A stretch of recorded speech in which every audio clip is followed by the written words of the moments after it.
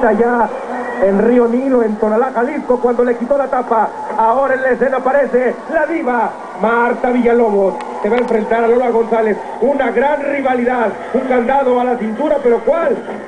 Hábil, hábil, esta ruda con esta cruceta.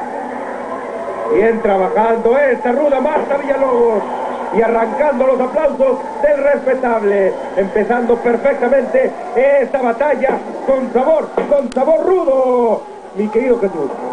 Bueno, pues ahí está en toque de espaldas Marta Villalobos enfrentando a Lola González y cuando se descuida que paso le dio ahí a la altura del pecho a Marta Villalobos. La gente de inmediato ha comenzado con una gran vivacidad, con un gran ánimo por disfrutar de esta función de lucha libre. Ahí tenemos a Marta Villalobos haciendo las devoluciones correspondientes a esta primera caída, un enganche muy al estilo japonés, muy al estilo del judo.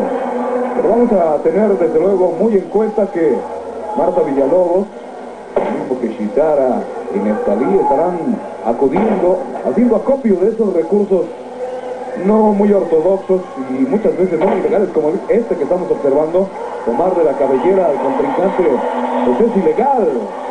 Y alguna parte del público lo apoya, otros lo reprueban, pero es parte también de la sal y la pimienta de la lucha libre profesional. Aquí están las Amazonas en la primera caída y doña Lola González ya le respondió a la planadora con la misma moneda tomándola de la cabellera, llevándola de un lado a otro de la plataforma y hasta el relámpago Martínez ahí en problemas de de doña Lola González, doctor Alfonso Morales. Así es, así es, amables amigos de Televisa.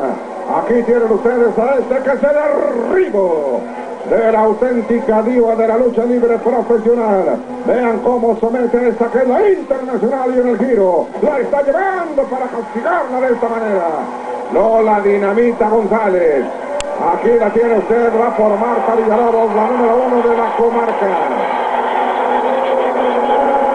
Mientras tanto, Tani Rey, aquí lo